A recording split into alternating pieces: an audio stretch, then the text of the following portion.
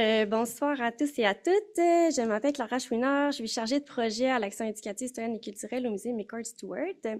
Au nom du musée, je vous souhaite la bienvenue à cette table ronde intitulée L'art de photographier la mode dans les coulisses d'une science photo, présentée dans le cadre de l'exposition Portraits et mode, photographes du Québec au-delà des frontières, une exposition organisée et développée par le musée McCord Stewart. Euh, avant de présenter nos invités de ce soir, je voudrais reconnaître que le musée McCord Stewart est situé sur un territoire fréquenté et occupé depuis des millénaires par les peuples autochtones et qui n'a jamais été cédé par voie de traité. La nation Ganyang-Giaga démontre toujours un profond attachement envers ce territoire qu'elle nomme Jojage.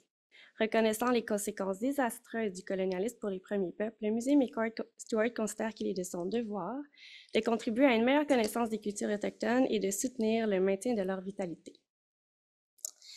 Maintenant, je vous présente nos invités de ce soir. Alors, euh, d'abord, sont réunis autour de la table Christina Garou et Xavier Dera, deux photographes qui sont présentés dans l'exposition Portrait et mode. Euh, je vous présente Christina pour commencer. Alors, euh, au terme d'études doctorales en recherche sur le cancer mené à Genève et à Québec, Christina Garou euh, abandonne un plan de carrière bien défini quand elle cède à l'attrait de la nature, de la création et de l'aventure. Elle peaufine une approche qui célèbre la jeunesse, l'insouciance, la nonchalance, l'anticonformisme et la liberté. Elle revendique le caractère naturel de la femme en faisant fi des standards de beauté établis, souhaitant que les figures féminines puissent se projeter dans les moments qu'elles capturent plutôt que dans la sphère numérique dominée par le luxe et les célébrités. Xavier Terra est un photographe et un, réalisateur pardon, visionnaire.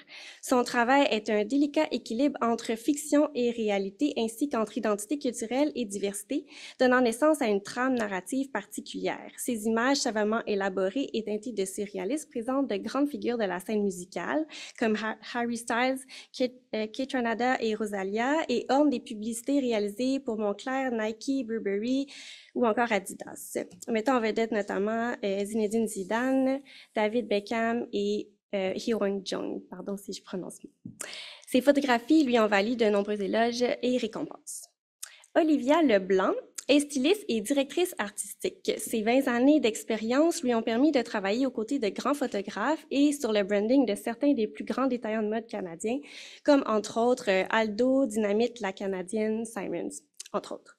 Elle accorde aussi une grande importance à travailler avec les photographes et designers émergents. Depuis 2022, Olivia signe la direction de création de multiples éditoriaux mode et couverture pour le L Canada et le L Québec. Elle collabore avec des personnalités comme Angèle euh, ou Barbie Ferreira et euh, ou Barbie Ferreira et des marques comme Bottega, Veneta, Chanel et Fendi. Thierry Maxime Loriot est le commissaire de l'exposition Portrait et mode photographe du Québec au-delà des frontières, présentée euh, euh, ici au musée.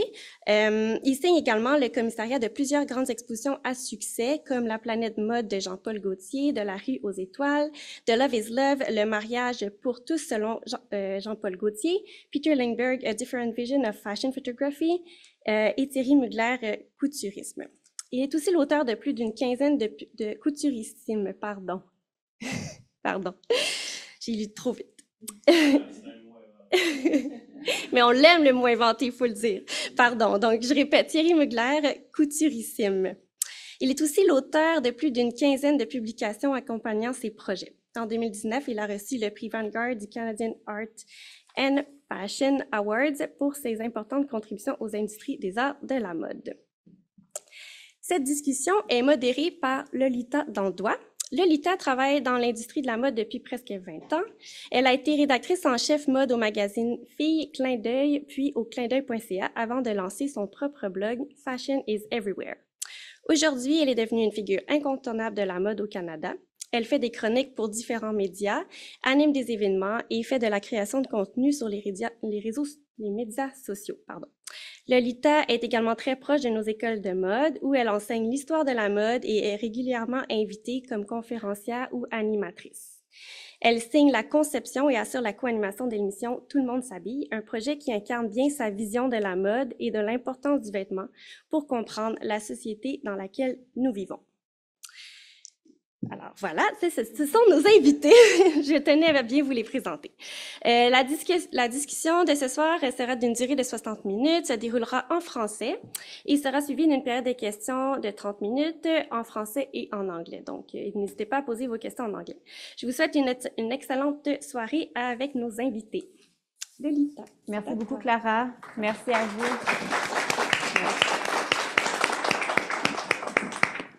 Ben, bonsoir à tous. Merci beaucoup d'être là. Merci à tous ceux qui nous suivent à la maison.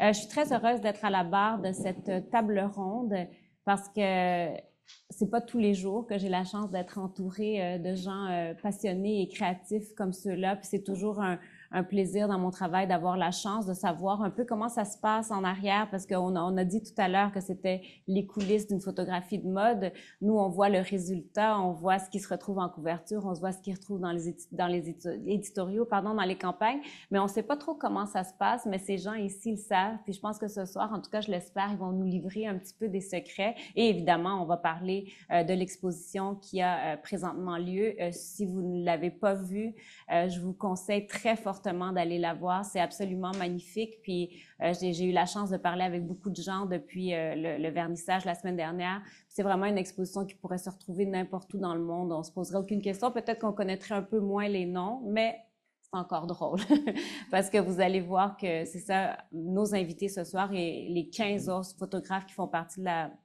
de l'exposition travaillent vraiment partout dans le monde.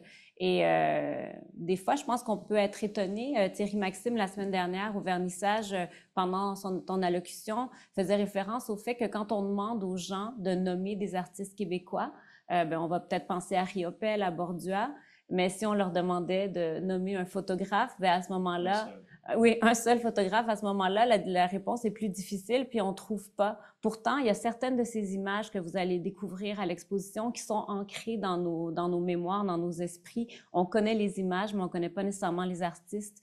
Puis c'est toute euh, la valeur de cette exposition-ci, de pouvoir voir qui est derrière tout ça, puis de réaliser tout le talent euh, qu'on a ici euh, à Montréal. Donc, merci beaucoup à vous de, de vous joindre à moi ce soir. Thierry Maxime, Clara vient de le dire et je pense que beaucoup de gens qui te connaissent sont au courant donc de tes projets euh, des dernières années. Donc, on sait pour euh, que tu as été à la barre de l'exposition Jean-Paul Gaultier, de la rue aux étoiles, euh, l'exposition Thierry Mugler, Couturissime, j'essaie de dire comme il faut, et bien d'autres, dont une exposition aussi Victor et Rolf qui est présentement à l'affiche à Munich, si je me trompe Exactement, pas. je pense aussi que je me trompe pas si je dis que tu pourrais en ce moment même travailler n'importe où dans le monde, un peu avec n'importe qui. Qu'est-ce qui fait que tu es ici avec nous à Montréal avec cette exposition? Euh, je, ça fait quand même 25 ans que je travaille dans l'industrie de la mode. Puis pour moi, le Québec, c'est la maison. Donc pour moi, c'est important quand même d'avoir un, un, endroit où je peux dire que c'est ma maison. Mais euh, le, fait, en fait, je pense, j'ai tellement travaillé à Paris, j'ai tellement travaillé à New York, j'ai tellement travaillé à Londres, j'ai passé tellement de temps là que ça m'a convaincu que je voulais pas habiter là-bas. euh, on, a quand même une qualité de vie à Montréal. C'est sûr que je voyage beaucoup, puis il faut que je prenne en ligne de compte, mais je préfère être, me projeter dans l'industrie de la mode quand j'en ai besoin. Si je dois aller au défilé ou si je dois aller pour le travail, ben, j'y vais, c'est tout. Euh, mais je préfère, euh, je préfère vivre à Montréal. On a, une meilleure qualité de vie qu'à Paris, je pense, ou n'importe où. De toute façon, euh, c'est juste un avion pour, pour aller là-bas. Donc, c'est ça. J'ai pas une bonne empreinte carbone, mais c'est pas grave. Mais ça fait toujours plaisir de faire des, des, projets à Montréal, que ce soit avec des artistes ou avec des, avec des musées ou avec différentes personnes. Parce que je travaille principalement pas à Montréal. Donc, euh. Et qu'est-ce qui est spécial euh, de cette exposition-ci qui t'a vraiment donné envie d'embarquer? Mais ah, c'est un peu comme t'expliquais, en fait, c'est dès le départ, c'était une conversation avec la directrice Anna Chapas qui me disait euh, J'aimerais ça qu'on fasse une exposition sur des photographes canadiens autour de la mode, du portrait. Je me suis dit, ah oui, il y a peut-être quelque chose à, fouiller qu'on peut trouver. Euh, je connaissais au moins une dizaine de photographes que je me disais, ah, peut-être ça vaut la peine. Donc, faisons ça autour de 10. Finalement, c'était 12, finalement, c'était 15, finalement, c'était 17. Euh, mais je pense qu'on aurait pu la faire sur 25, puis s'il y en a qui sont pas là, qui sont excellents, puis mais c'est juste, on peut, si on veut les présenter d'une façon convenable, qui présente bien, puis déjà, il n'y a pas beaucoup de tirages, il y a quoi, il y a entre 7, 8, 9 tirages par photographe. C'est mm-hmm. sûr qu'il y en a plus dans, le catalogue de l'exposition, euh, mais c'est de pouvoir montrer leur travail, de pouvoir montrer leur esthétique. Pour moi, c'est important. Il y avait des talents tellement incroyables. Il y a des gens qui ne connaissent pas le travail de de, de Christina, mais ils vont voir une campagne publicitaire de North Face, puis ben, c'est elle. Puis ils vont voir une publicité de Adidas, puis ben, c'est Xavier. Donc, c'est c'est juste, c'est des gens qui viennent d'ici. Ils viennent de Montréal, elle vient de Québec. Même Olivia, tu travailles à l'international, tu as des photos qui sont dans l'exposition. Tout le monde travaille un peu partout, mais peu de gens savent. Tu peux avoir une carrière, en fait, en habitant au Québec, puis une carrière internationale, puis même tu peux être immigrant, euh, puis avoir une carrière internationale. Je pense notamment à Oumaima Bentanfous, mais je parle, je pense à Max Abadian, qui, qui est arrivé d'Iran, euh, qui parlait pas un mot de français ni un mot d'anglais. Il parlait farsi puis allemand quand il est arrivé euh, à Mirabel. Euh, donc, c'est quand même. Je voulais aussi que ce soit un message stimulant pour une jeune génération de voir que peu importe ce que vous faites, ça, a l'air un peu kitsch de dire euh, croyez en vos rêves, mais mmh. honnêtement, c'est ça cette exposition-là. Max Abadian, quand il était né à Téhéran, euh, je pense pas qu'il se disait Ah oui, je vais, je vais prendre, je vais faire la, photo de, la couverture de l'album de Lady Gaga un jour. Je pense pas que c'était ça dans sa tête. Donc, c'est quand même exceptionnel. C'est des, des, destins, c'est des histoires. Puis c'est aussi euh, de, de, de, raconter l'histoire de notre patrimoine culturel, de notre mm-hmm. richesse, euh, mais autant euh, les anglophones, les francophones, euh, différentes générations. Il y a Luc Plamondon avec euh, Louise Le Cavalier, mais il y a aussi Una Mohan que plein de gens ne connaissent pas. Puis c'est vraiment la prêtresse de la mode au Canada pendant des années. Donc pour moi, c'est important aussi de, de, rendre hommage à des gens peut-être qui avaient été un peu oubliés. Mm-hmm. Euh, puis aussi de montrer ceux qui ont été des acteurs importants dans la culture populaire, que ce soit euh, Ariane Moffat ou Céline Dion ou Leonard Cohen ou euh, Isabelle Boulay ou Sapi. Tout le monde est, a une part là-dedans. Puis c'est grâce à ces gens-là aussi que c'est photographié.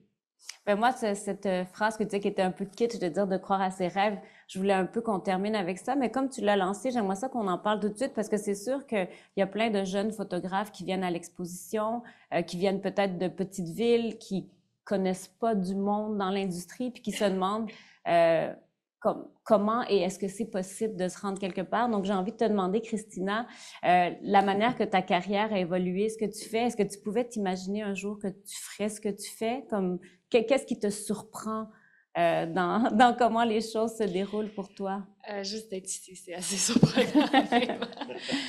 euh, non, en effet, ma vie est vraiment pas été de la manière que j'avais planifié. Mmh. Puis, je suis vraiment euh, grateful for that.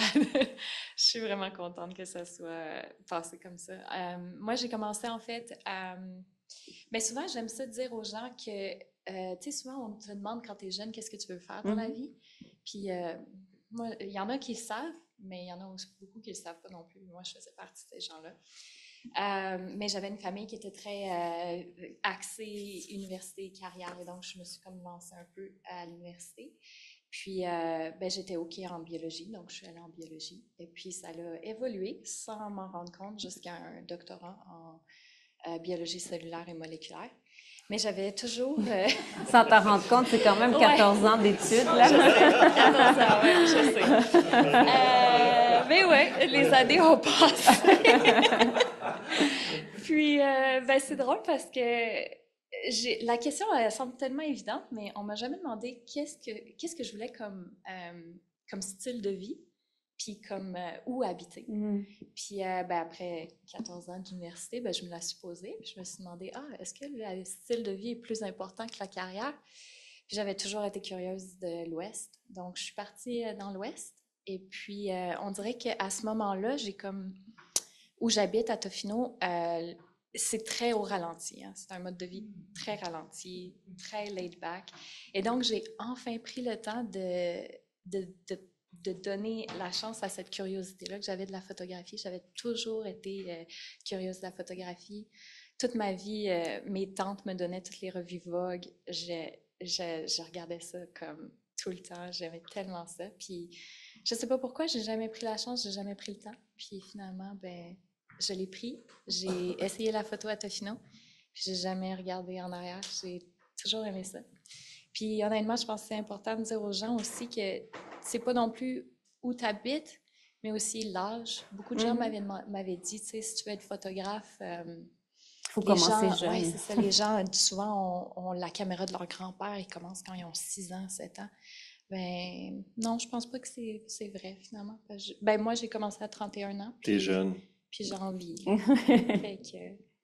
Ben oui, c'est ça, Clara l'a expliqué. Puis c'est sûr que quand on lit le livre, d'ailleurs, il y a vraiment plein d'histoires. C'est vraiment un, magnifique livre pour les images, mais aussi on en apprend beaucoup sur les photographes.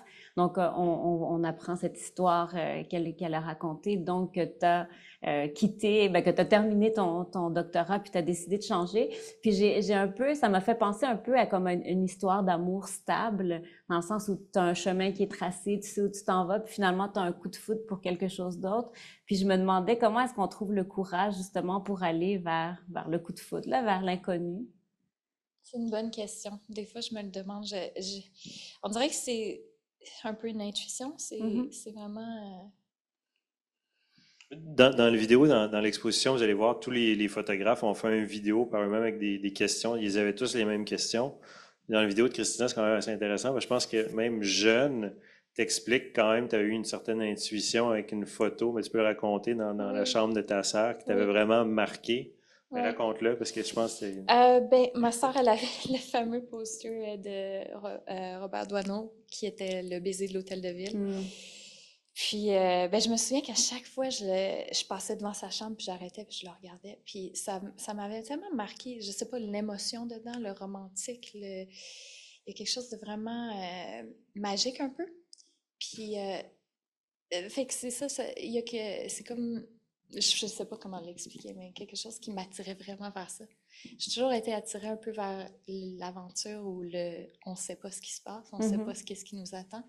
Donc, je pense que c'était plus ça qui m'a donné le courage, de vraiment sauter dans l'inconnu. Ouais. Puis encore maintenant, je trouve ça vraiment trop le fun. Puis honnêtement, la photographie, c'est comme ça tous les jours, on ne sait pas quelle campagne va m'arriver, on ne sait pas où je vais être. Je sais, c'est vraiment le fun.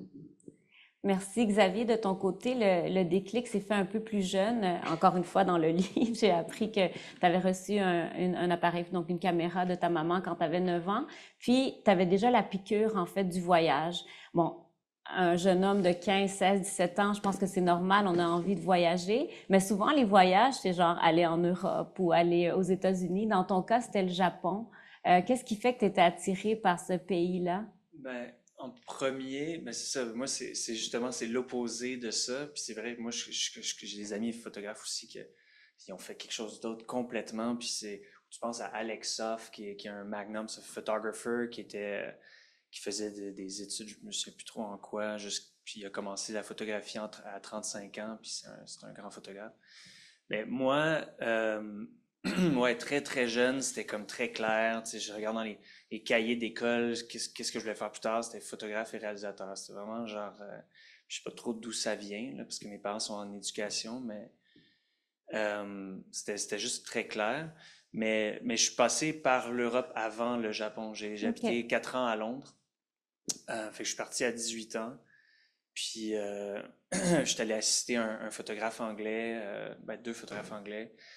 Puis j'ai passé quatre ans là, puis, euh, bon, je travaillais euh, comme assistant, je travaillais dans les restos, tu vois, en, faisant les, les, deux de 18 à 22 ans. Puis là, tranquillement, euh, j'ai juste commencé à pousser mon truc, mais c'est vraiment au Japon que, que je me suis développé, je pense. puis j'ai, en fait, j'ai compris ce que je voulais vraiment faire, puis comment je voulais le faire. Puis qu'est-ce qui a fait que c'est là que tu l'as compris? Je pense que ben, plein de choses. J'ai rencontré beaucoup de gens, au travers, en, déménageant ailleurs. Ce que ça fait, c'est, tu sais, c'est pas, puis j'adore Montréal, j'adore revenir ici. Je viens trois, quatre fois par année. Euh, mais quand, quand tu voyages, tu habites dans d'autres endroits, j'ai rencontré tellement de gens que encore aujourd'hui me donnent des jobs parce qu'on a tous évolué, tu sais, mais des, des mentors aussi, tu sais, de, j'avais 18 ans, puis il y avait du monde que, qui m'ont comme pris sous leur aile. il y avait, eux, il y avait 30 ans à l'époque. Euh, ils, m'ont, ils m'ont donné des opportunités. Ça fait que tu rencontres tellement de gens. Je pense que quand tu veux vraiment puis que tu es intéressé, je, pense que les choses viennent à toi euh, mm. naturellement. Puis, euh, puis après ça, ben, le Japon, il y avait quelque chose qui était. Ben, je parlais pas la langue quand je suis arrivé. Fait que j'ai eu un moment de, de presque rétrospection à 22 ans, 23 ans, euh, de, juste, en fait, j'étais tout seul avec moi-même, même si je déménageais avec, avec ma copine. Euh, je, je, je, sentais qu'il fallait que je pousse, puis que je trouve, puis que j'essaye, puis que... Puis évidemment, le Japon, ça m'a aussi beaucoup inspiré, visuellement. Euh, puis j'ai rencontré, encore une fois, j'ai rencontré beaucoup de gens là-bas qui, ben, qu'on a amené euh, à collaborer beaucoup. je pense à des fashion designers que d'ailleurs que Thierry connaît, Tomo Koizumi, ou avec, avec certains magazines qui m'ont, qui, m'ont donné une chance parce que ben, je poussais. Donc, il y a tout ça qui ont fait que je pense je me suis trouvé là-bas puis que je continue là-bas aussi. Est-ce que tu dirais que c'est plus facile ou plus difficile de se tailler une place dans un pays qui n'est pas le tien? Je, pense que les deux, euh, ça, risque d'être. Après ça, je ne l'ai pas vécu de l'autre côté, fait que c'est ben dur à dire pour moi, mais je pense, je pense que c'est la, c'est la même chose. C'est juste une question de volonté. Tu sais, moi, très jeune, c'était clair dans ma tête que j'allais partir, puis j'allais, j'allais habiter ailleurs, puis que j'avais besoin de cette énergie-là. Je pense que cette énergie-là me donnait la force. J'étais là aussi, c'était un peu, euh, pas par ego, mais tu déménages, tu vas ailleurs, fait que ça donne un boost qui, est complètement différent. À 18 ans à Londres, j'avais j'avais pas un sou, là, fait que tu, tu, tu, trouves un appart avec euh, sept autres personnes, euh, tu, tu fais plein de choses que c'est pas, euh, j'aurais pu appeler mes parents puis dire, hey, pouvez-vous m'aider ou quoi que ce soit, mais c'est une question aussi de, je pense, d'indépendance puis de vouloir faire quelque chose de, de ta personne. Fait que c'est un mix de plein de choses. Et il parle japonais parfaitement maintenant. Ben, parfaitement. parfaitement. Mais je parle bien, mais je parle pas parfaitement. Mieux, que moi, en tout cas. euh, merci beaucoup, Olivia. Euh, j'ai fait le tour un petit peu avec toi de l'expo, puis quand on fait le tour avec toi, on réalise que tu étais quand même impliqué dans plusieurs images euh, qui, sont, euh, qui sont à l'expo et aussi avec plusieurs photographes différents. Donc, c'est pas juste parce que tu collabores avec un en particulier. Il y avait plein d'images un peu partout. Fait ça nous donne la chance un peu de savoir comment ça se passe, cette, cette, cette interaction, cette relation entre la directrice artistique et euh, le photographe. Je sais que, bon, tu n'as pas travaillé avec Christina ni Xavier, mais j'aimerais quand même... Encore. Encore, oui, c'est ça. Peut-être après, peut-être après ce soir, mais que tu nous parles un peu de comment ça se passe, parce que tu as comme une, ben, c'est ça, une position un peu privilégiée. Euh, voilà, donc dis-nous un peu plus. Euh, oui, ben écoute, moi je, suis un peu un petit oiseau derrière le travail des photographes. Je trouve ça intéressant de voir, d'entendre parler de vos parcours parce que j'ai travaillé avec des photographes qui étaient déjà établis quand j'ai commencé ma carrière, dont Max Abadian, qui été nommé tantôt. Euh, mais j'ai aussi vu des gens naître, tu sais, sur des plateaux, c'est-à-dire que j'étais avec euh, certains photographes, puis je voyais leurs assistants arriver, puis je commençais à voir euh, leur Instagram, puis je me disais, ah, c'est intéressant ton esthétique, on fait un shoot ensemble? Donc, à travers l'expo, j'ai vu vraiment beaucoup de mon travail, mais j'ai vu surtout la carrière de tous ces gens-là naître. Fait que ça, c'est super. Puis, ben, moi, j'ai commencé en stylisme. Donc, euh, j'étais sur des plateaux euh, qui étaient en, en édito, c'est-à-dire, oui, magazine, mais je faisais aussi des campagnes de mode. Donc, euh, ce qui est important, j'avais trouvé intéressant quand même la soirée du vernissage, c'est qu'on met beaucoup la lumière sur les photographes, puis je trouve ça vraiment génial parce que c'est vrai que c'est rare qu'on parle des photographes de mode. On va souvent parler des photographes en art visuel. Puis en mode, on va souvent parler des designers. sais. Puis euh, là, ça m'a vraiment beaucoup ému que finalement, on, parle du travail de tous ces gens-là. Puis à travers ben, ce travail-là, il y a évidemment euh, les, les maquilleurs, les coiffeurs, les producteurs, les directeurs artistiques. Derrière une image, il y a une grande, grande équipe qui travaille très fort pour euh, arriver au meilleur résultat.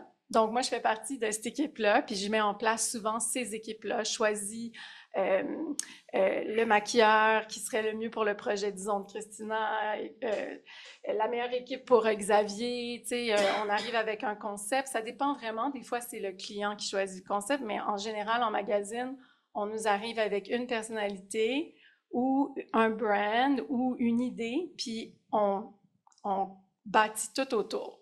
Alors, si je regarde le portfolio de Xavier, comme exemple, je pourrais me dire, ah oui, Xavier, je le vois absolument voir faire ce, projet-là.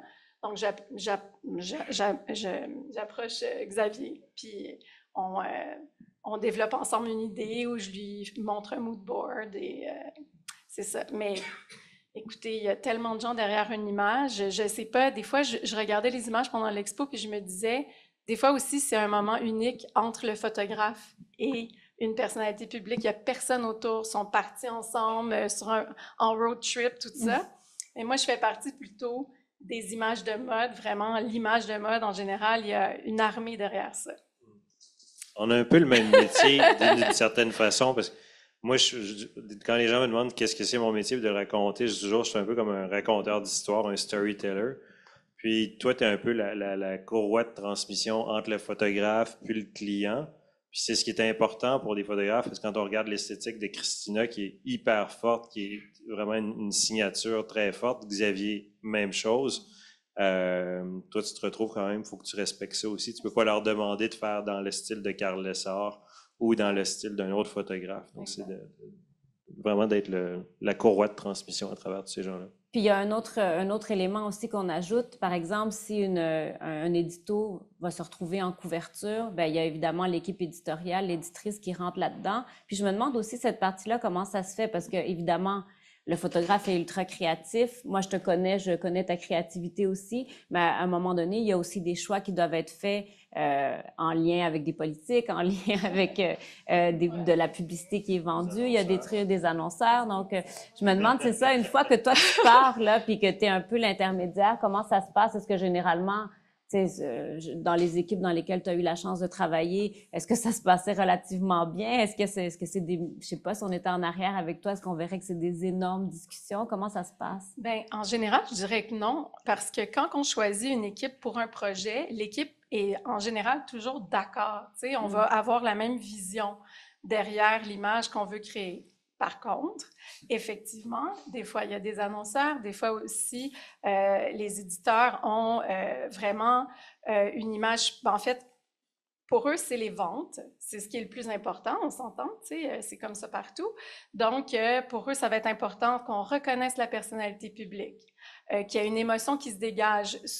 On veut euh, pour que quelqu'un achète un magazine, souvent, ben, ça va être la première émotion qu'on va vouloir euh, euh, ressentir. Ça va être la joie, tu sais, mais ça peut être aussi des fois la mélancolie. Tu sais, la mélancolie nous amène ailleurs aussi. ah, les années 90, j'ai vécu ça. ça me rappelle un truc que j'ai porté. Ça me rappelle un album que j'écoutais. Tu sais. Alors, mais en général, je dirais que c'est sûr qu'on est dans un monde où est-ce que il y a des il y a des gens qui font de la publicité, il faut qu'on, des fois qu'on pousse un vêtement, des fois il faut qu'on pousse aussi euh, euh, une personnalité qui est aussi euh, connectée avec un brand. À la marque, oui. À la marque. Donc, je dirais qu'on est quand même déjà ultra chanceux, nous, d'avoir plein de magazines. Tu sais, on est riche, là, notre culture est riche ici au Québec. On a encore le El Québec qui, tu sais, qui est là, qui, qui perdure. On a le clin d'œil. moi, je trouve qu'on on devrait vraiment être fiers, puis c'est ça un peu cette expo, je trouve. C'est, euh, il y a beaucoup de travail qui a été fait pendant les dernières années, puis on met la lumière là-dessus en ce moment. Là, le, mot personnalité est revenu souvent. Vous avez tous eu la chance, je pense, de travailler avec des personnalités. Euh, dans ton cas, Thierry, euh, je pense particulièrement aux images de Mika avec mm. Royal Gilbert. Je me demande, parce que, tu sais, les personnalités, bon, euh, elles sont toutes différentes. Il y en a qui sont plus sympathiques que d'autres, mais c'est des gens qui ont une vision très claire de qu'est-ce qu'ils veulent. C'est pas la même chose que travailler avec un mannequin que tu diriges. Euh, je me demande juste un peu comment, puis je sais que c'est pas la même chose pour euh, pour chacun d'entre eux, mais comment ça se passe cette partie-là quand une personnalité a tellement un style établi, a tellement une image établie et veut et veut, veut réussir à, tu veux réussir à donner un certain résultat? Ben, en fait, je dirais que c'est vraiment assez simple, en fait, parce que c'est des gens, c'est des amis, euh, dans la plupart des cas. Mm. Euh, Mika, ça fait des, des années qu'on travaille ensemble, puis qu'on on est, on est des amis, comme avec Isabelle Boulay. Je fais ses pochettes d'albums, que ce soit avec Peter Lindbergh ou avec Max ou avec euh, d'autres d'autres photographes. Même chose avec Mika, on fait tout avec Royal Gilbert, mais c'était vraiment juste c'est des amis qui me disent ah, avec qui tu avec qui tu pourrais travailler, mais c'est pour moi c'est naturel de prendre des gens d'ici. J'ai mm-hmm. toujours trouvé qu'il y avait beaucoup de talent ici. Comme je travaille exclusivement avec Paprika pour mes livres, euh, que ce soit des, des, des, même pour des tournées, pour des tourbooks, euh, de différentes personnes. Donc, pour moi, c'est assez naturel de le faire, puis c'est de comprendre leur esthétique. Mais surtout, honnêtement, euh, c'est plus de s'amuser autre chose. Comme si je fais des décors pour que ce soit pour une tournée mondiale de Rufus Wainwright ou pour le, la, dernière émission de télé de Julie Snyder.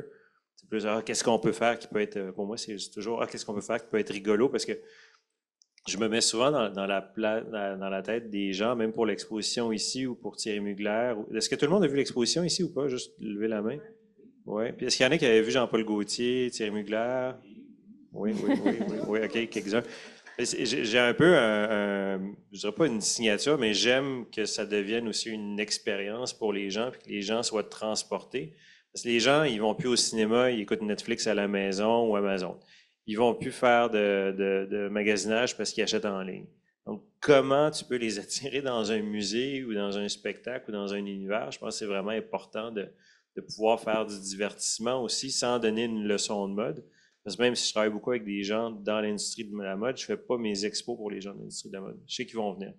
Moi, ce qui m'intéresse, c'est mon voisin qui ne comprend pas ce que je fais, mais qui, qui se dit Ah, mais c'est peut-être intéressant, ou des gens comme mon père ou ma mère que je pense qu'on avait un peu le même genre de parents qui étaient très académiques, puis euh, pour eux, c'était pas leur rêve que leur fils euh, travaille dans la mode, puis euh, surtout avec le parcours un peu atypique. que j'ai eu. Mais là, je pense qu'ils sont fiers. Mais, mais je, pense, je pense que c'est important, honnêtement, de, de s'amuser, puis je pense que nous tous, c'est vraiment la première chose, c'est de créer des équipes avec lesquelles on s'entend bien, puis aussi de c'est pas d'avoir toujours une même clique ou euh, quoi mm-hmm. que ce soit, mais c'est juste des. Moi, je suis quelqu'un qui aime diriger des équipes, puis je sais quelle personne va avoir une force juste pour s'élever, comme pour cette exposition-là, c'était de rassembler les forces de tout le monde. Est-ce que tout le monde est au même niveau dans cette expo-là? Pour moi, oui. Tout le monde est au même niveau. Il n'y en a pas un qui est moins bon que l'autre, puis on sent pas que c'est québécois, puis c'est ce dont je suis fier, c'est L'expo, pourrait être, ça pourrait être des photographes britanniques ou français ou de n'importe où. On ne sent pas que c'est une expo locale, ça va l'air d'une expo de finissant. C'est international, c'est des carrières et des destins euh, qu'il faut célébrer. Oui, clairement. Puis je, je, le redis encore, là, moi, je, il y a beaucoup de ces gens que je connaissais, beaucoup de photos que je connaissais, mais on dirait que je réalisais pas à quel point ça venait de chez nous.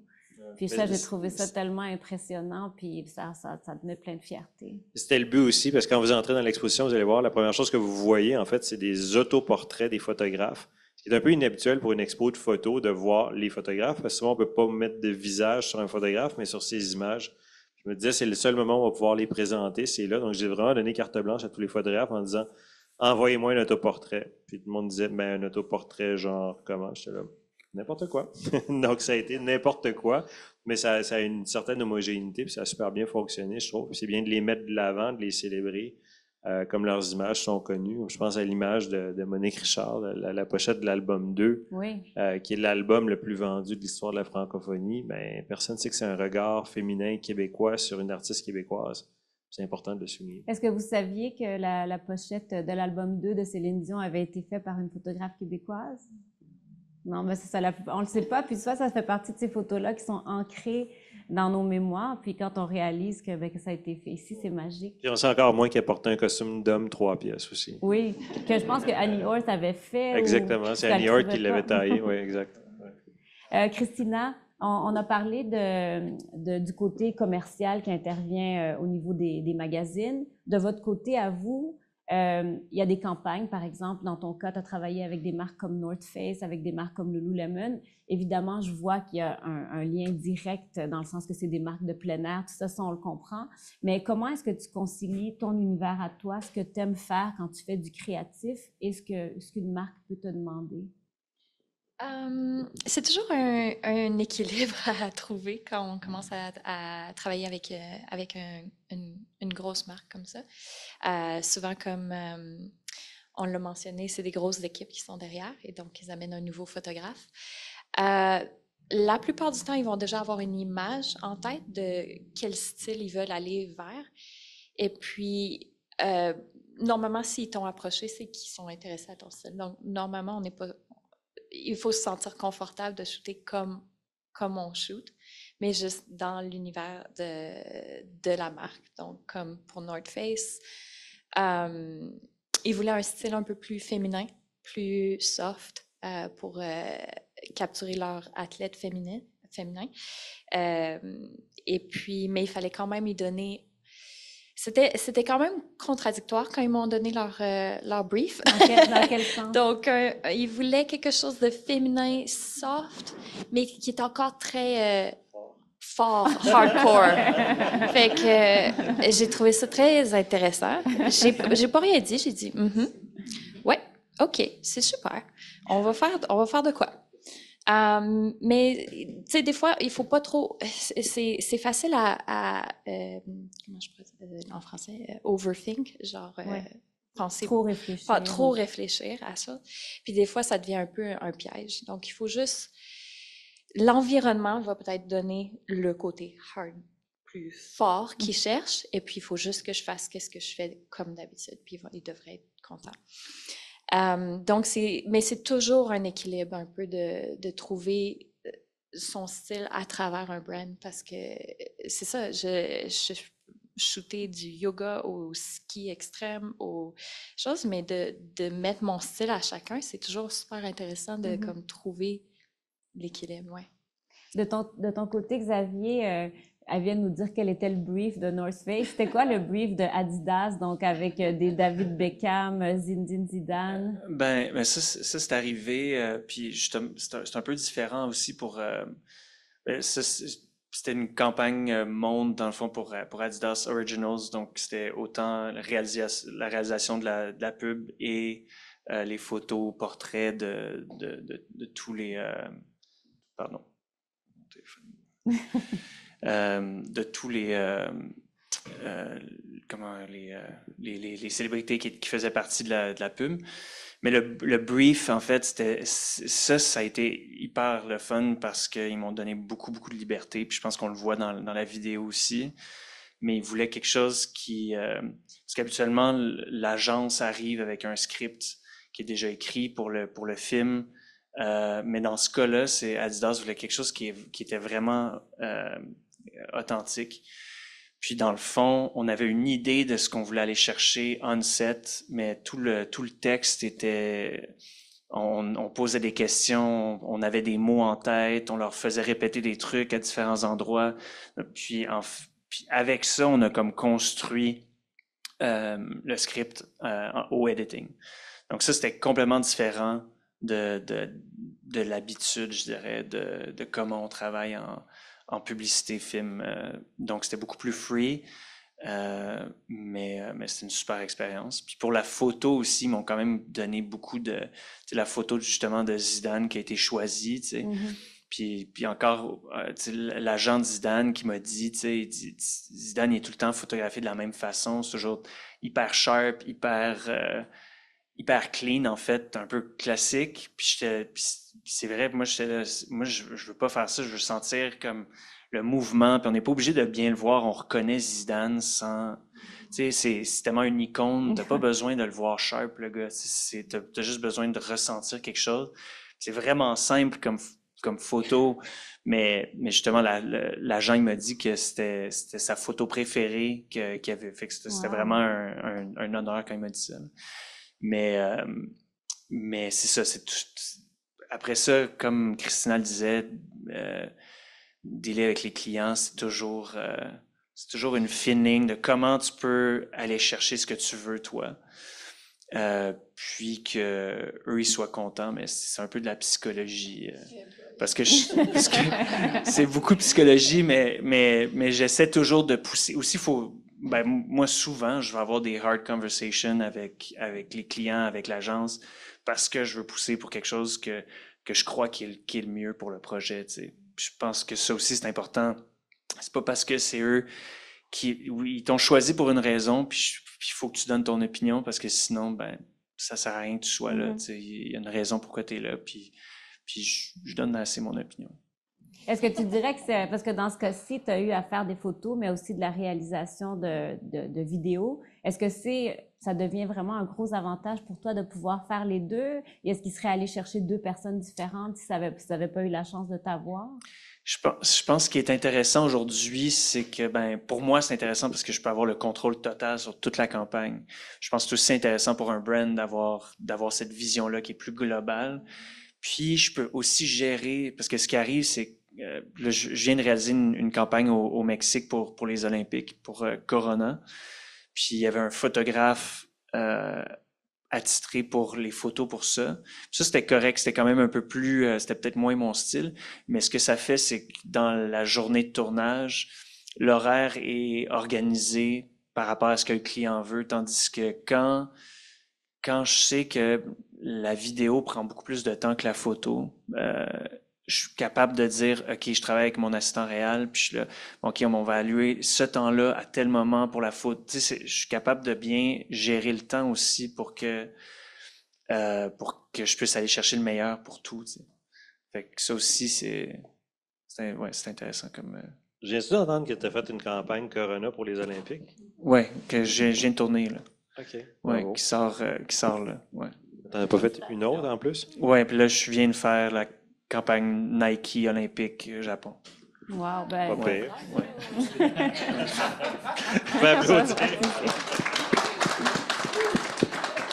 Mon ami est dans la Cachetier. Oh. mon, mon, ami est dans la salle, donc je dois te demander, est-ce que David Beckham est aussi charmant en personne qu'on se l'imagine? non, mais c'est vraiment, c'est vraiment, c'est vraiment un gentleman. Pour vrai, là, ce que tu vois à télé, c'est lui. Mais après ça, c'est du c'est quand même du facing. Le gars, tu vois que c'est une machine de marketing. C'est pas, c'est le contraire total de Zidane qui arrive, qui est, qui est. On parle d'authenticité pour la campagne. Mm-hmm. C'était vraiment quelqu'un d'authentique. De David, vraiment. C'est, ça. tu vois qu'il joue. Tu peux juste le shooter du côté droit. Ah. Donc, il n'y a, que. Y a ça, tu n'as pas le droit de le dire. Hein? ça sort pas d'ici.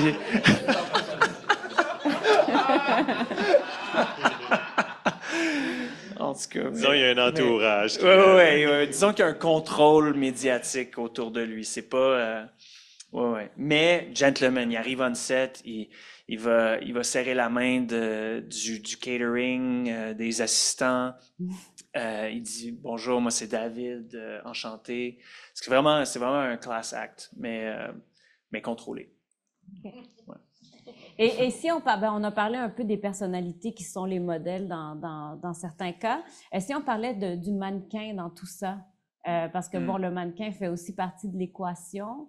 Euh, je ne sais pas si vous pourriez. Ben déjà, Thierry, on va commencer avec toi parce que ça va me permettre de parler de ton ancienne carrière que tu pourrais poursuivre si tu en avais envie. Donc, vous savez peut-être que Thierry Maxime était mannequin, qui a fait beaucoup de campagnes à l'international.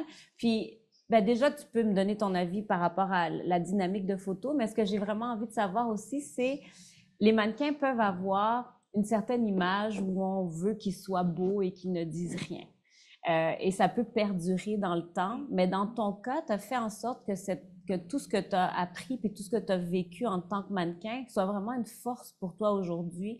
Puis je veux que tu me parles de ben, comment tu as réussi à faire ça. Ah, mais je ne sais pas moi-même. En fait, moi, je voulais être architecte. Puis c'est pour ça que maintenant, je pense, j'aime faire de la scénographie d'exposition, mettre en scène des expositions. Moi, c'est pas du tout mon rêve hein, d'être mannequin, puis c'est encore moins le rêve de mes parents. Euh, mais c'était vraiment un accident, puis ma vie a vraiment été bouleversée en 48 heures quand une femme que j'ai rencontrée m'a envoyé dans une agence, ils ont faxé des Polaroids ils m'ont envoyé à Paris, ça c'est en dedans de 24 heures. Puis j'ai rencontré un photographe qui s'appelle Mario Testino qui m'a shooté le lendemain pour une campagne mondiale de Burberry avec Kate Moss, ce qui était ma première job à vie. Puis après ça, je faisais des campagnes d'Armani puis de H&M et tout. Euh, le, monde du mannequinat, c'est pas du tout un monde qui m'intéressait parce que je faisais pas la fête. Euh, j'ai le même chum depuis euh, toujours. Euh, c'est pas, pas mon univers. J'aimais beaucoup rencontrer différents artistes. Puis moi, ce qui m'intéressait, comme quand je regardais un film avant, même encore maintenant, ce qui m'intéresse toujours, c'est regarder les extras, les behind the scenes, je toujours savoir comment c'est fait. C'est pour ça que dans mes expos, vous voyez toujours des planches contact, des Polaroids. Déjà me montrer le processus des choses parce que je pense que c'est important de le montrer, puis on le voit plus. On vit dans un monde d'images, pas de, pas de photos. Euh, puis, le monde de la photo, mais ça m'a permis de rencontrer aussi des photographes incroyables, puis avec qui j'ai travaillé en tant que mannequin, comme Peter Lindbergh, mm. Mario Testino, avec qui j'ai fait des expositions, des livres aussi euh, par la suite. Euh, mais je pense que ce que moi je considérais comme une faiblesse, en fait, d'avoir été mannequin, euh, surtout quand je suis arrivé dans, le milieu des, des, musées, disons, d'être cute, ça m'aidait pas. Mais puis, ils ne m'attendaient pas les, à bras grands ouverts non plus. Mais après, je pense, une expo, puis une autre expo, puis finalement 17, puis finalement 1 million, 2 millions, 7 millions de mmh. visiteurs. Ben, les, gens, ils se disent, ben, il doit savoir ce qu'il fait un peu. Mais c'est, comme je dis aussi, c'est de m'amuser de travailler avec des gens que j'aime, que j'admire. Euh, puis là, c'est la même chose. Puis je trouve ça intéressant aussi de travailler même sur set avec les photographes, puis de voir comment ils shootent, parce que ça me rappelle des souvenirs. Même, j'ai vu Christina shooter, qui, qui, me, qui, me, qui me rappelle l'énergie incroyable qu'il y a Hélène Von Unvert puis Hélène Constantine, qui est deux photographes que j'ai adoré travailler avec elle, a exactement cette même énergie-là que j'espère qu'elle va jamais perdre. Elle est mm. tellement énergisante pour, euh, pour ses équipes, puis c'est rare, puis c'est super rafraîchissant, je pense, de voir des, des gens qui ont une vision autre, tu sais, comme euh, Xavier aussi, qui va faire son premier long métrage en tant que réalisateur, qui, ont, qui peuvent se projeter aussi dans, dans, le futur. Pour moi, ça me nourrit, ça me stimule, surtout de voir euh, tous ces univers de création-là qui s'entrecoupent. Tu sais, c'est des gens de la musique, de la mode, Soit moi, d'être mannequin, c'était un peu un, accident qui m'a permis de rencontrer des, chanteurs, des musiciens, des réalisateurs, des gens du cinéma, des gens de la, du monde de la littérature. Puis finalement, je, les mélange tous ensemble euh, maintenant. Puis c'est un genre de melting pot. C'est pour ça que les gens, quand ils me demandent comment tu fais pour faire ce que je fais, j'ai aucune idée. non, mais c'est vrai, j'ai aucune idée. C'est un mélange de, tout que, qui vient ensemble, puis ça, donne ça. Ben, mm-hmm le faire le mieux des rencontres et des expériences que tu as eu la chance d'avoir? Ben, moi, j'adore connecter les gens. Tu sais, je me dis, si ça fonctionne pour ça, c'est mm-hmm. fabuleux. De... Moi, je veux juste être content. Je me sens pas en compétition avec personne. J'ai toujours été assez ouvert par rapport à mon, carnet d'adresses. Tu sais, si c'est bon pour moi, c'est bon pour tout le monde. Puis, mm-hmm je me sens pas en compétition avec personne parce que personne n'a fait ce que j'ai fait. Donc. Ben je, suis contente que tu aies parlé de Hélène von Unvert et euh, de l'énergie de Christina parce que j'allais presque oublier une question qui était très importante pour moi. Le, métier de photographe de mode a souvent été ben, traditionnellement très masculin. Puis des gens comme Annie Leibovitz, ben, qui l'est encore un peu, là, et Hélène von Unvert, et ici Monique Richard ont été des pionnières justement de femmes photographes puis je me demandais, Christina, quand on regarde tes photos, je pense particulièrement à cette image de l'exposition où il y a une, femme qui est couchée euh, au bord de l'eau. Elle a une robe un peu transparente. Puis je me dis, cette image-là aurait été totalement différente si elle avait été prise par un homme, je crois. Ça, c'est mon opinion personnelle. Puis je me demandais, pour toi, c'est quoi la différence entre justement le regard féminin sur une femme versus le regard d'un photographe masculin? Bonne question. J'aurais besoin d'un peu de temps pour. Il faudrait demander à Olivia aussi. Oui, mais non, mais Olivia, ça s'en vient, donc tu peux y penser. OK. Mais euh, c'est ça parce que, tu sais, évidemment, quand on découvre ton travail, on voit le côté très beauté naturelle. Il y a quelque chose qui ressort vraiment la beauté de la personne, on dirait intérieure, qui sort d'elle. Puis comme euh, Thierry Maxime parlait de ton, de ta façon de shooter, je me demande, c'est ça, c'est vraiment ton opinion personnelle. Je veux juste dire quelque chose en intro, par exemple, parce que moi, c'est un truc qui, ayant travaillé avec des photographes femmes et hommes, puis je le vois dans l'expo aussi, puis vous remarquerez, parce que même de mettre face à face Monique Richard puis Carl Lessard, vous allez voir, Carl Lessard, c'est très, très étudié, c'est très figé, il y a des poses, vous allez voir même Isabelle Boulay, Ken Nagano euh, et Céline Dion, tous les trois ont la même pose dans, dans l'exposition, juste pour que vous remarquiez. Puis vous voyez Monique Richard, vous voyez Christina, euh, vous allez voir Andréane les femmes ont plus de liberté quand ils photographient. C'est un truc qui me fascine, puis peu de gens marquent ça. Ils vont tourner, on, voit qu'ils tournent, qu'ils se permettent de couper un visage à moitié, de ne pas voir la personne. Puis il y a toujours une, douceur, puis c'est un mot qui, me donne un peu la chair de poule, mais une authenticité. euh, dans, dans, leur façon de travailler qui est assez rafraîchissante, je trouve, de Mm. toujours voir un regard féminin posé sur une autre femme. Parce que le regard masculin sur une, une femme, souvent, je dirais, il est peut-être moins doux. Euh, puis je trouve toujours qu'il y a une douceur puis une certaine joie. Puis c'est ce qui m'interpellait beaucoup dans les photos de Christina. C'est ce qui interpelle tout le monde. C'est justement ce côté très rafraîchissant. Puis très, euh, c'est une vision positive aussi. Je pense que c'est important d'avoir ça dans la photographie. Puis c'est spécialement féminin, je dirais. Est-ce que ça résonne avec, euh, avec toi? Oui, totalement. Ben, je pense que c'est ça. Il y a, aussi une connexion un peu, comme euh, en- entre femmes, une, amitié, mais aussi comme euh, une connexion à, comme à la créativité qu'on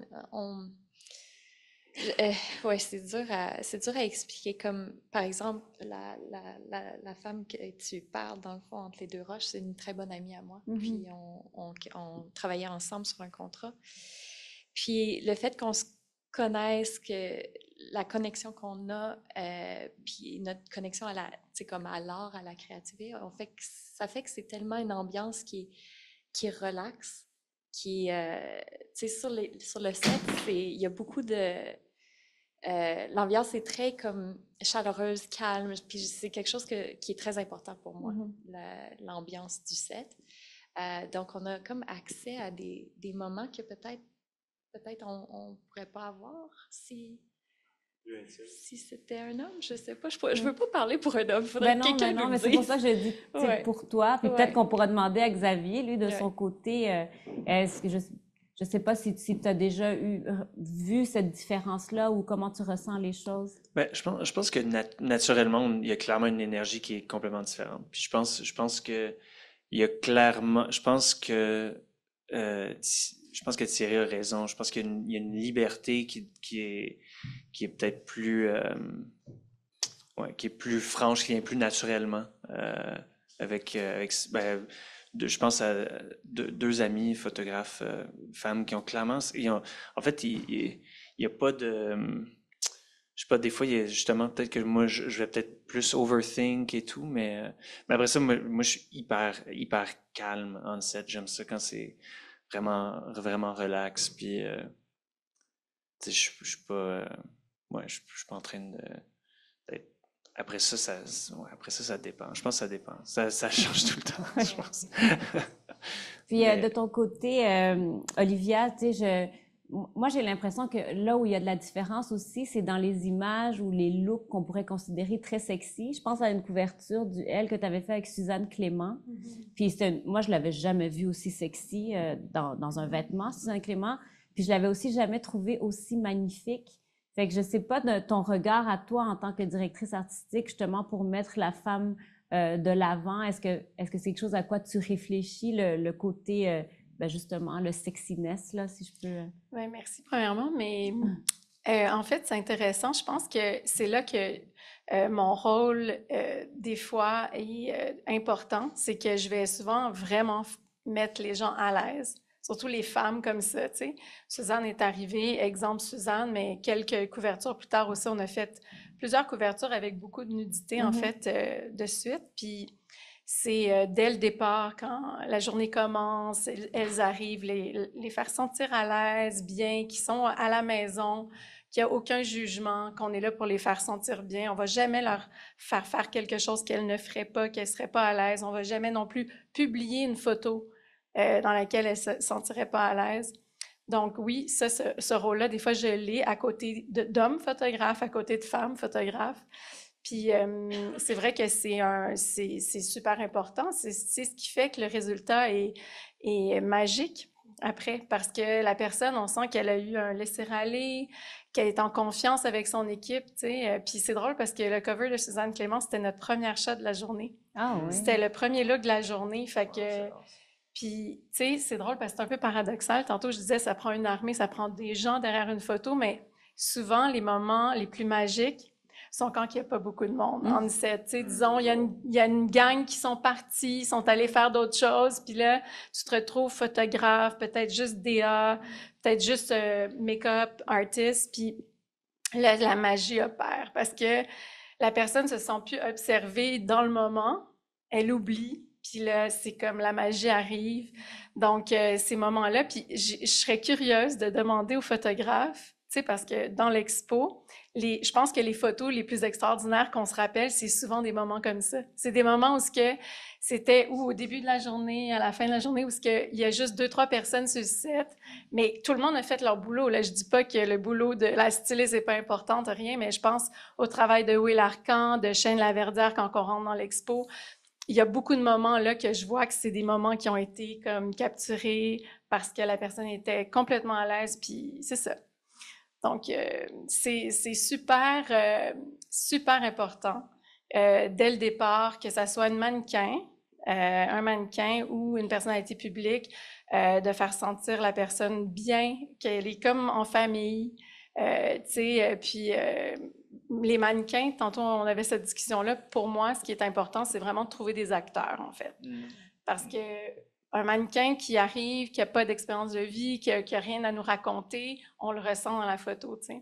C'est super important de jaser avec la personne quand elle arrive, comprendre son histoire, puis c'est ça qu'on va interpréter à travers les photos. C'est ce qui me passionne, moi, dans, dans ce travail-là. Je viens d'avoir une petite alarme comme quoi il était 19 heures. Donc, on arrive, euh, Clara, Théo, hein, on arrive à la fin. Je, je, vais vous laisser évidemment poser des questions. Euh, mais Thierry, j'aimerais te demander pour terminer, maintenant, bon, tu en savais beaucoup sur les photographes, tu en connaissais beaucoup d'entre eux, puis tu as fait le travail, tu as dit que tu es passé de 12 à 15 à 17 photographes. Maintenant que tu as tout vu ça, que tu as tout rassemblé en livre, si tu devais décrire c'est quoi euh, l'espèce d'énergie générale ou qu'est-ce qui caractérise les photographes québécois? Qu'est-ce que tu dirais? Euh, définitivement, c'est une super bonne question euh, parce qu'une euh, chose qu'ils ont en commun, à part qu'ils ont tous appris la photographie au Québec, c'est vraiment un truc qui est assez frappant dans, l'expo pour moi qui connais bien la photo. Je ne suis, pas un expert en photo. J'aime beaucoup la photo. je travaille avec beaucoup de photographes, mais je ne me considère pas un expert. Mais un truc qui transparaît dans tous ces photographes-là, en fait, c'est la relation euh, d'intimité puis la vision humaniste qu'ils ont euh, dans leurs images. Puis on le voit dans les 17 photographes. Puis pour moi, je trouve ça vraiment flagrant de pouvoir voir. Euh, parce que maintenant, comme je disais, on vit dans un monde d'images. Euh, on voit des images sur Instagram, on voit des images sur un arrêt d'autobus, sur un autobus, euh, partout, partout. Vous êtes à l'aéroport, toujours des images, des images, des images. ce qu'on voit ici en haut, c'est de la photographie. C'est des images qui sont réfléchies, c'est des images qui sont cadrées, qui sont éclairées, qui ont une, histoire derrière.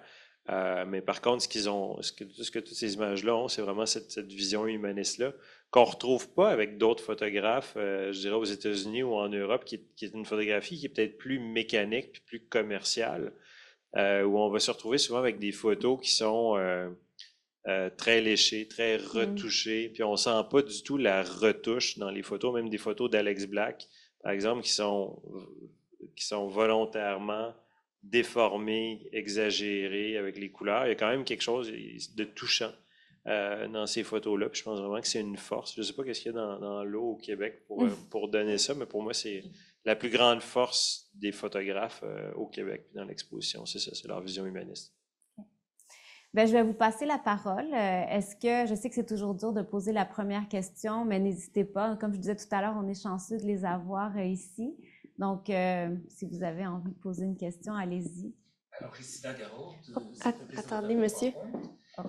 Pardon, en fait, c'est parce qu'en fait, on est en ligne aussi, si vous ne savez pas, donc pour que le monde en ligne. Bonjour, euh, Christina Garot, Sergent La Violette. J'ai habité Vancouver pendant dix ans et ça a été mes plus belles années au niveau de réalisation de mode. Et je comprends très bien Tofino pour y avoir euh, visité et cette, euh, cette lumière qui est, qui est là. Donc, comment cette lumière se, se, se, passe à travers vous lorsque vous faites la photo, mais pas nécessairement à Petofino, mais dans vos campagnes, euh, euh, dans d'autres dans d'autres locales? Euh, oui, ben, oui, comme vous dites, c'est vraiment une lumière spéciale. La lumière est différente partout. Ah c'est ce que je trouve magnifique et tellement intéressant. moi, ben, j'ai appris à Tofino, mais j'ai appris dans l'eau. En fait, j'ai commencé dans le, dans le surf. En fait, j'avais un appareil pour aller dans l'eau et je photographiais mes amis qui faisaient du surf. Donc, ça l'a comme un peu entraîné, je dirais, mon œil peut-être d'une façon très différente parce que quand on shoot, quand on capture dans l'eau, c'est très minimal. C'est Oui. l'eau, le ciel et ton sujet. Voilà. Donc, je pense qu'en fait, ça l'a vraiment. Euh, quand, en fait, après, quand je suis sortie de l'eau et que j'ai commencé à plus shooter des campagnes et plus de fashion, je pense que mon œil était comme attiré vers plus quelque chose, les, des patterns minimales, des, euh, des choses. Puis la même chose pour la lumière, je pense, de Tofino. Des fois, quand je voyage, je la retrouve un peu à différents moments, mais juste un, un twitch different, genre un petit peu différent. Puis je pense Voilà. que ça, c'est vraiment magique. C'est un différent prisme finalement, Ouais. c'est cela. Ouais, Merci vraiment. beaucoup. Euh, Merci C'est- à vous. C'est quoi la différence entre la lumière d'ici et la lumière dans l'ouest pour toi? Pour moi, C'est l'angle, c'est le. le- Ben, le- c'est premièrement, moi je trouve qu'en ville, ben, tu as beaucoup de réflexions de building, right? Fait qu'il y a- il y, a moins, c'est plus neutre, euh, personnellement, ce que je trouve. Mais chez nous, euh, ben, dépendamment si t'es proche, tu sais, il n'y a pas de building, il n'y a pas de réfraction, donc c'est la lumière de la, na- qui reflète la nature, le vert, des arbres, de l'eau. Donc, tu as, un petit peu plus de chaleur dedans qui est, qui est réflectée par la nature. Ici, c'est plus neutre, mais ce que j'aime beaucoup pour différents projets.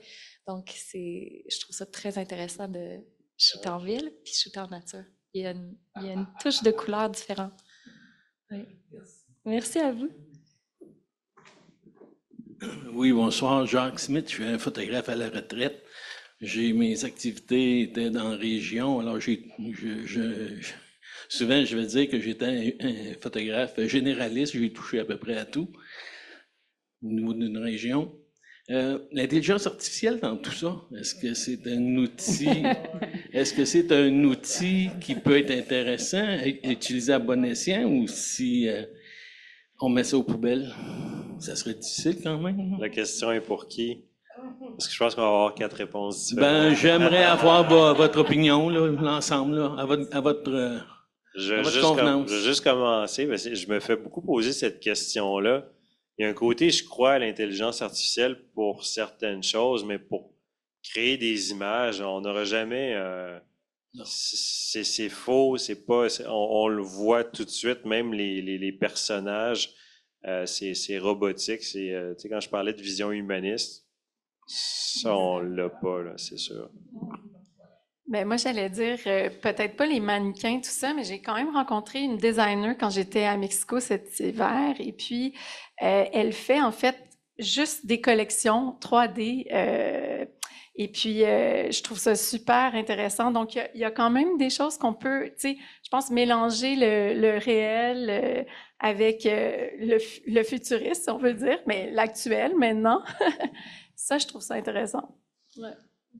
Ouais, je suis assez d'accord. En fait, je pense, je pense que ça peut être un outil euh, à la base. C'est sûr que c'est comme n'importe quoi. Ça fait toujours. Le, le- le changement fait, fait peur euh, aux- à certaines personnes. Mais je pense que ça peut être juste un, un outil intéressant. Mais pour revenir à, à ce que Thierry disait, la photo, c'est une rencontre entre deux personnes, c'est un moment qui est capturé. C'est pas, c'est pas quelque chose que tu écris puis qui est créé automatique. Ça, c'est comme, euh, c'est comme quand la photo, en fait, est arrivée, les peintres avaient peur que la peinture arrête. Ouais. C'est juste deux médiums complètement différents. C'est, pour moi, c'est la même chose. ben, merci beaucoup. Est-ce qu'on a une autre question? Je voudrais juste prendre un, un petit moment pour dire aussi que je vais en profiter. on a eu la chance de présenter les photos de Christina. Je- on présente maintenant un peu les photos de Xavier et je voudrais vraiment euh, m'excuser. Xavier, je t'ai mis un accent sur ton nom de famille, mais il n'y a pas d'accent sur euh, le E de Terra. Donc, euh, non, mais c'est important. quand même. Donc, euh, on poursuit les questions, pardon. Puis j'aurais une question aussi de- des gens en ligne. Donc, j'ai une dernière question, ben pas une dernière, mais une question ici, puis je- on ira en ligne un peu après. Merci. Lily Michaud, euh, Galerie Occurrence. J'ai fondé la galerie en 89. Je ne pouvais pas m'imaginer voir la mode et la photographie dans des musées euh, lorsque j'ai ouvert la galerie. Euh, je veux te remercier, Thierry. Je veux te remercier pour cette belle exposition-là et de mettre de l'avant des photographes. Parce qu'on sent que, euh, au-delà de la mode, il y a vraiment du talent, une richesse dans la photographie. Donc, euh, je suis très émue et ça me fait plaisir de voir cette exposition-là. Merci. Merci. beaucoup. Merci. Je vais juste ajouter un truc à ce que vous dites parce que euh, ça, me fait plaisir d'entendre ça parce qu'il y, y, a peu de gens qui savent, mais c'est une première, pas québécoise, mais canadienne. Puis je voudrais, il n'y a aucun autre pays qui a déjà fait ça, de célébrer les gens d'un endroit parce qu'ils ont tous des carrières internationales.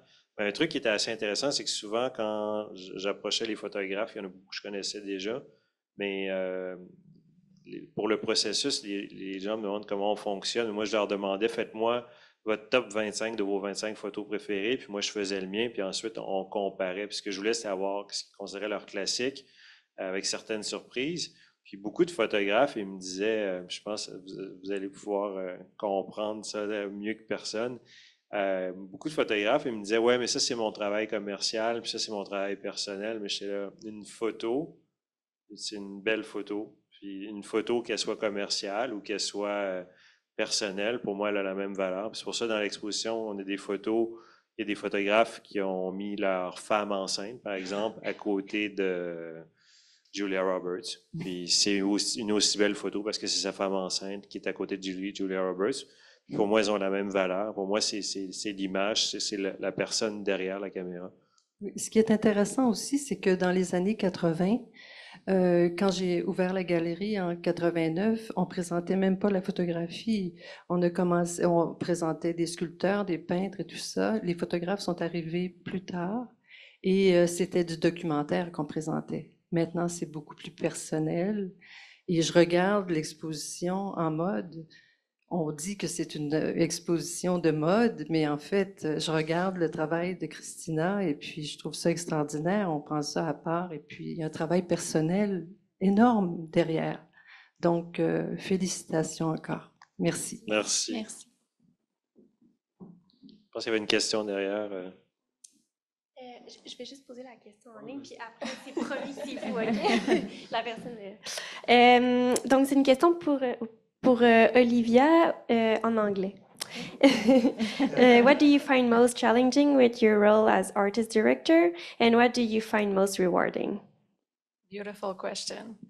Um, I would say that the most challenging of all is to always feel that the picture comes from your gut and it's really what you wanted to, you know, do. Like Xavier talked about it earlier.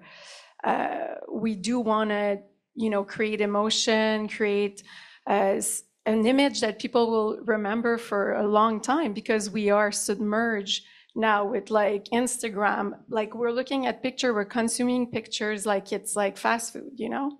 So the most rewarding for me is that when the last picture we choose and we the final picture is some a picture that for me uh, brings me emotion and that my team is really proud of. Um, the most challenging, there's a few I could say, because um, the most challenging I would say um, is to drop everyone's ego when they come on set, and that the conversation is about us being creators and just you know having a conversation with our creativity so mine, his, hers, and you know, the most challenging is often ego, you know, and then at the end is sometimes we do choose a picture not for the right reason. So that's why choosing the right teams and choosing people that like to collaborate is the most important. Bonjour, je m'appelle Gabriel Lévesque, je suis photographe euh, à temps plein dans la ville de Montréal depuis maintenant trois ans et demi. Ma question est pour Xavier, euh, parce que je voyais, euh, en fait, je te connaissais pas avant, mais là, je suis tombé sur tes photos, puis je trouve que ça n'a rien de, la photographie commerciale. Puis je me demandais, rendu où est-ce que tu en es, je sais pas ça fait combien de temps que tu es dans l'industrie, mais quelle, quelle partie occupe ton travail personnel malgré toutes ces campagnes, tous ces travaux importants? Euh, c'est une bonne question. Ben, J'essaie toujours de, de, travailler sur des projets personnels en parallèle à d'autres projets euh, commerciaux, mais, mais, en même temps, comme aussi comme Thierry disait, je, moi je vois le, le, travail commercial comme quelque chose que je veux mettre mon empreinte dessus. Puis je, suis content de t'entendre dire que tu, tu, ressens pas le, côté commercial dans le travail qui est commercial. Parce que je, viens d'un côté qui est beaucoup plus documentaire, puis qui, revient peut-être aussi à le, côté humain que, j'essaie de rechercher euh, chez les gens que, je photographie. Euh, mais bref, j'essaie toujours de, tu sais, comme là en ce moment, je travaille, j'ai fait un, livre il y a quatre ans maintenant, puis là, je travaille sur un deuxième livre. Euh, puis je, je shoot mon premier long métrage en novembre. Donc, il y a toujours, j'ai toujours des projets personnels en parallèle de plus longue haleine, je dirais. Euh, euh, ouais, pour, ben, juste parce que je, je peux pas juste passer une journée à rien faire.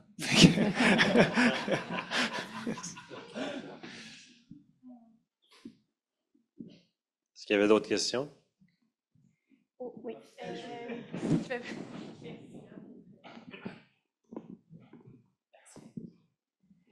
Hi, my name is Arturo Las Piñas. I'm an aspiring fashion photographer. Uh, first, it was really great to hear all your stories and your careers. Uh, it's, it's very motivating. Um, one of the things they teach, I guess, in, in trying to become a, a fashion photographer is you have to find your style. So, my question to any of you is, and you have a long career still to go, what would be the thing that you want to be most remembered for? What legacy would you want to leave behind in your work?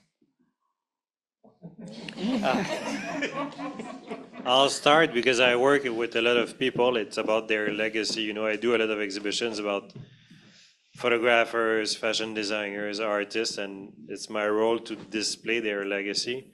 And one thing that they have in common, all of them, like any really great creator and the 17 photographers in the exhibition, one thing they have in common is that they all know something that they never learned in a book. So it it's it sounds easy to say, but it's you know the, the talent and the signature style that you will be like, oh, this is a Christina Garot image. Oh, this is a Xavier Terra image. Just like you you remember a Herb Ritz image or a Irving Penn image. It's, it's it's it's because it's something that you cannot teach to someone. It's just something that they learn by themselves and when young kids they come to see me like how do you do how can you do that it just i just say keep shooting just never stop Mm. shoot shoot shoot shoot shoot shoot Yeah. your style will come by itself so Yeah. maybe they have a different vision but I, I was just gonna say that I think like for for me it was just by shooting, shooting, shooting, and then I kind of like by having like a lot of work, I was like, oh, actually, oh, this is what I'm tending to go for, and then oh, I'm trying different things, and then and then kind of everything comes together, and I mean, at the end of the day, I don't wake up in the morning saying like, yeah, my legacy should be. I think I think it just comes. maybe it just comes like you know together at the end. It's not. I think it's something that you retrospectively like figure out, and not something that you actively think about. And you can see that in the book uh, right now, visual designers, the movie, the, the boards are tell the style and stories Yeah. of each Mm. of the Mm. photographer, Mm. which you did an amazing job. Yeah, I think I think Thierry had it right. Like, I don't think you can you can think of a style and go towards it. It's it will come naturally if you keep shooting what you love and not and make mistakes. Mistakes are so good mm-hmm. because honestly, if you try to invent something, you can't, right? You're like, I'll try to invent something. You can't. But inventions come from mistakes. And if you're if you're patient enough and brave to look at your mistakes, don't delete them and review them. Sometimes, like a day later, you'll see something that you had no idea, and then a kind of the style will come kind of take a path different. And I think that's the most beautiful thing. And yeah, just shooting, shooting, and honestly, I still don't know what I'm doing, but I'm I'm shooting what I love, and so and somehow people tell me I have a style, and I don't even know that I have a style.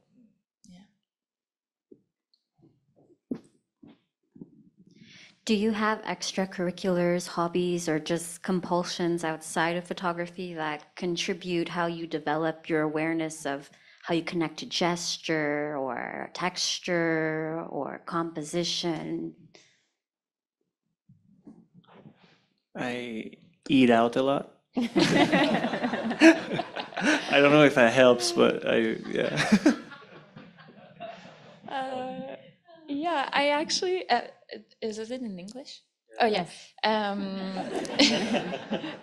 uh, I actually make a point to myself to always take some different courses because it kind of brings, just like I was saying, mistakes, it brings a totally different vision. And so it, it's kind of funny to say, but I took a glass blowing course in Vancouver. It blew my mind. it's so fun. I didn't even thought melting glass could be that fun. So, yeah.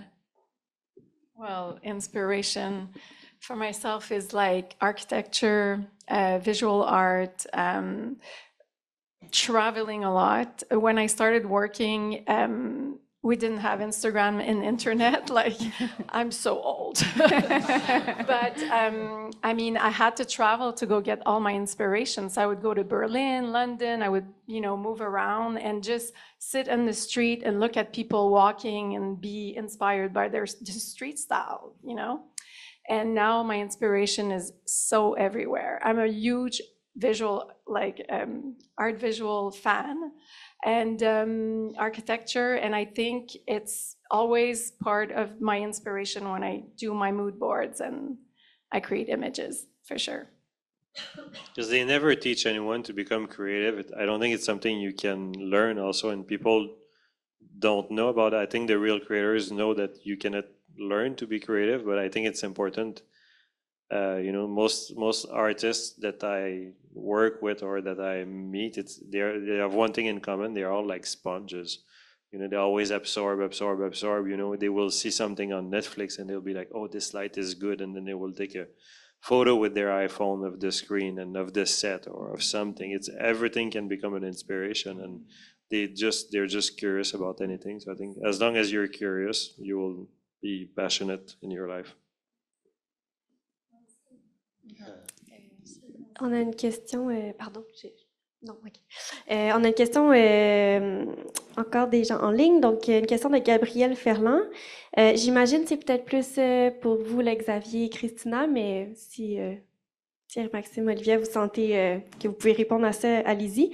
Alors, euh, avec l'avènement du numérique et maintenant la présence des cellulaires, le cachet et le travail euh, du photographe sont-ils en danger, entre guillemets?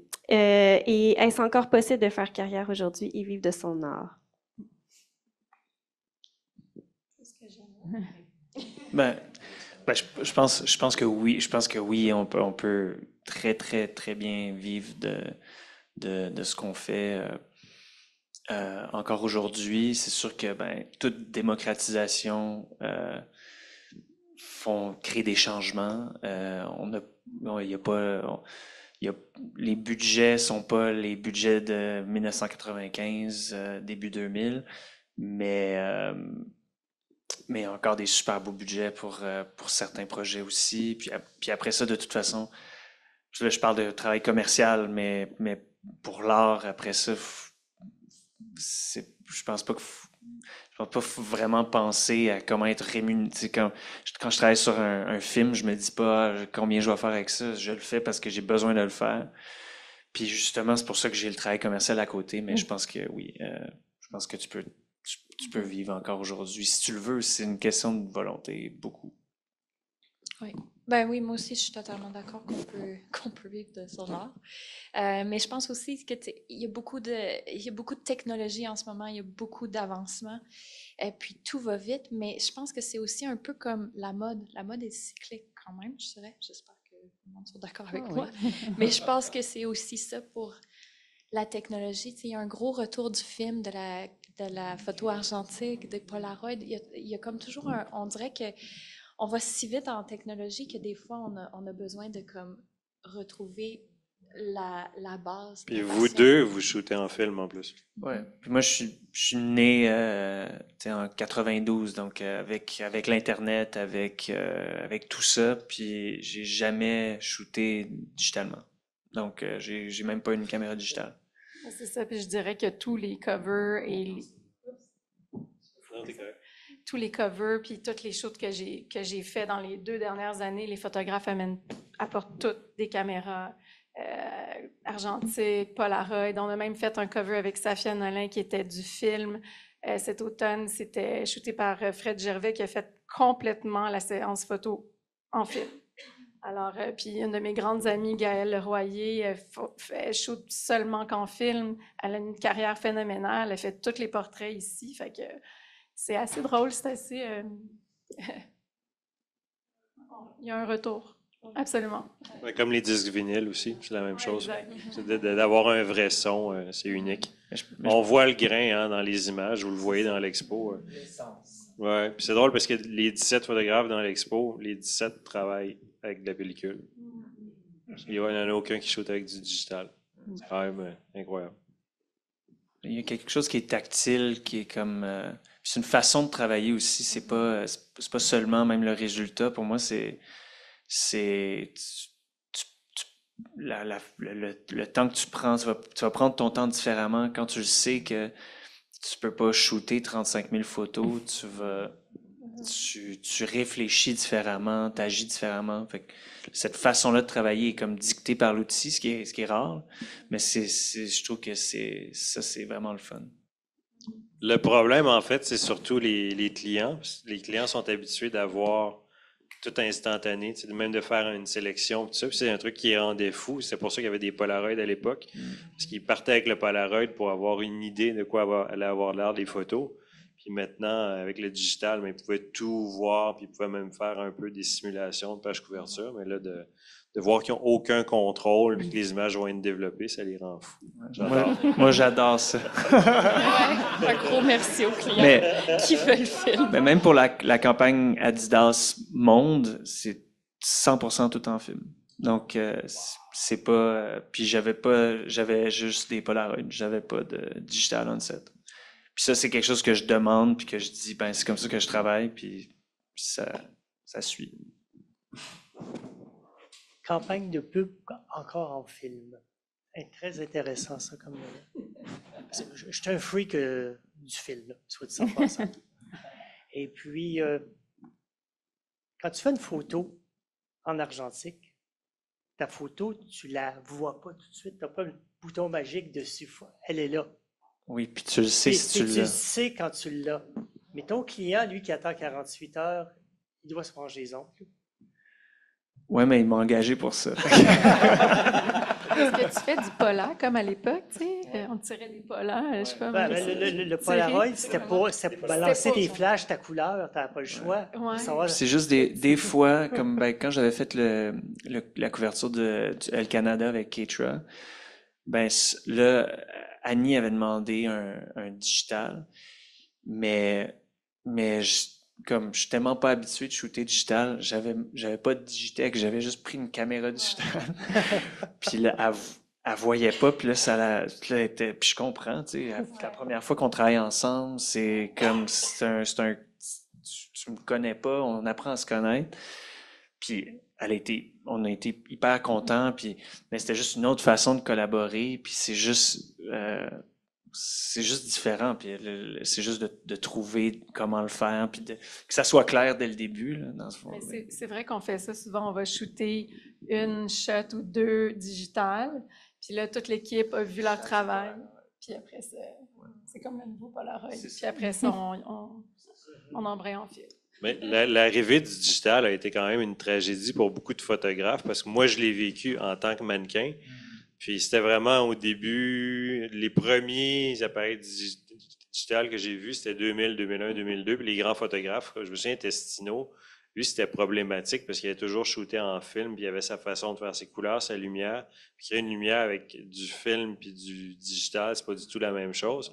Puis même Peter Lindbergh, avec qui j'ai travaillé pendant trois ans dans ses archives à regarder tout, tout, tout, lui, euh, ça lui a pris des années à trouver la façon de recréer son grain, euh, sa façon de shooter. C'est quand même assez drôle parce que c'est à ce moment-là qu'il a essayé la couleur, euh, quand il y a eu le digital. Quand vous voyez des photos de Lindbergh en couleur, c'est vraiment quand il y a eu cette transition-là de, la pellicule. Puis lui, ben, il, a, réussi finalement à, finir sa carrière aussi euh, en digital, mais ça a été un, un traumatisme pour, pour beaucoup de photographes.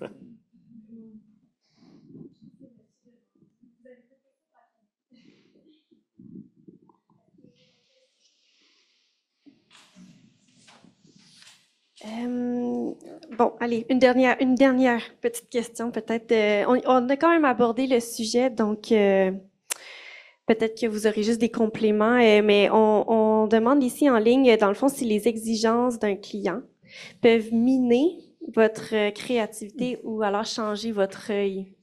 Vous en avez un peu parlé déjà, fait que peut-être juste en, si vous voulez juste en deux lignes, ça vous évoque. ce serait notre dernière question.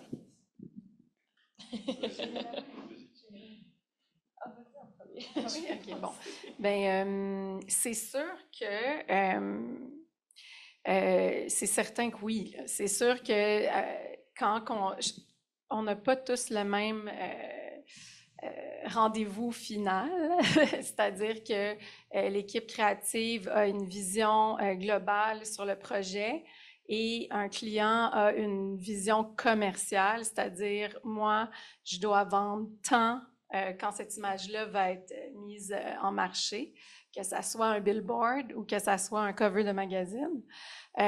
Moi, c'est sûr que dans ma carrière, j'ai vécu des choses traumatisantes parce que on savait c'était quoi le résultat premier, puis après ça, on voit le résultat final, puis on est, on est déçu. Fait que oui, ça brime notre créativité. Mais au final, ces gens-là font quand même qu'on a des carrières, on peut vivre de notre art, on l'a dit tout à l'heure. Alors, euh, je pense que la conversation à avoir, c'est comme si on veut garder euh, une belle relation avec ces clients-là, c'est de quand même exprimer notre point, puis euh, de montrer pourquoi on préférait, disons, la première image, puis de, de garder la conversation ouverte.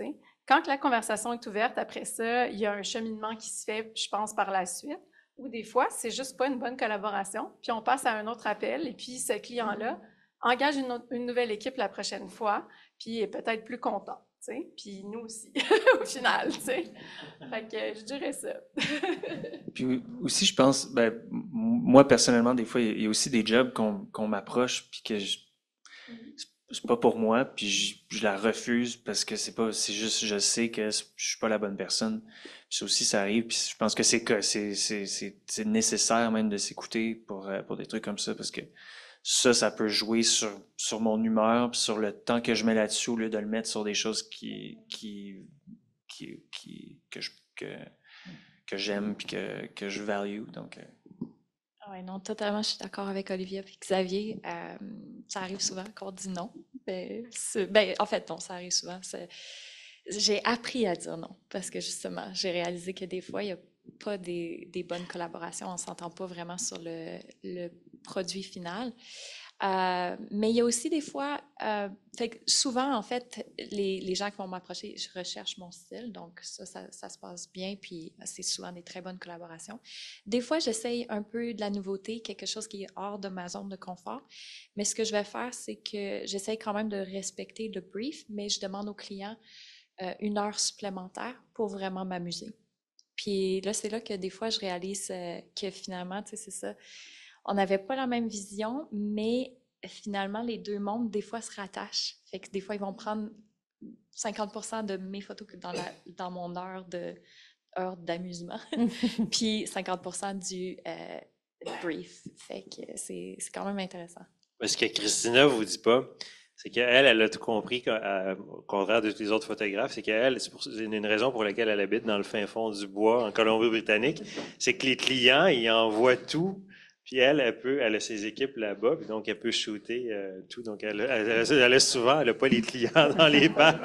C'est vrai, c'est vrai, c'est vrai, oui. En fait, ouais. Puis j'ai une, une collaboratrice euh, aussi hors pair qui produit tous mes trucs au Japon, qui, est- qui, est, ma, qui est ma copine, mais qui est aussi sans, sans son travail derrière, je pourrais des fois pas pousser cette créativité-là parce qu'elle aussi, elle, va, se- elle va se battre, puis elle va... Puis justement, ça revient à ce qu'on parlait au début, de ça, ça prend pas juste une personne, mais quand, quand tu as, des alliés, quand tu as une équipe qui est avec toi, ben c'est c'est tellement important, puis c'est, c'est tellement plus le fun, puis c'est pour ça qu'on le fait. fait que, ouais. Même chose pour moi, puis être ici dans la salle, c'est Pénélope. c'est euh, ma- mon bras droit dans tous mes projets euh, créatifs depuis euh, deux ans. Euh, super important, c'est vrai. Souvent, ils vont gérer euh, les- la tension, les boules d'angoisse. Nous, dans ce temps-là, l'équipe, on fait nos petits... euh, ouais, on, a, on a notre espace, puis on a souvent, c'est ça, plus de temps, comme tu viens de dire, ton heure d'extra, tu sais, euh, pour... euh, puis après ça, on, on prouve que souvent, on avait raison. OK, ben, euh, est-ce que tu veux conclure ou Oui, vais? ben, je, je peux. Ben, est-ce que tu voulais ajouter un, un mot de la fin? Puis je, je conclurai avec le dernier mot de la fin. Ben, D'accord, c'est te bon, laisse ça, le micro bon. Le pré-mot de la fin. Donc, je voulais vous remercier tous euh, d'avoir été là. J'espère que vous avez passé une belle heure, heure presque et demie avec nous. Puis, je voulais vous remercier pour votre générosité, puis d'avoir euh, partagé plein de choses que je sais que, bon, en tout cas, c'était ça l'objectif à la base, c'est d'en savoir un petit peu plus sur comment ça se passe, la magie en arrière. Donc, merci beaucoup. J'étais très heureuse de passer ce temps-là avec vous. Merci à toi. Merci à toi. Merci, Lali. Merci. Merci.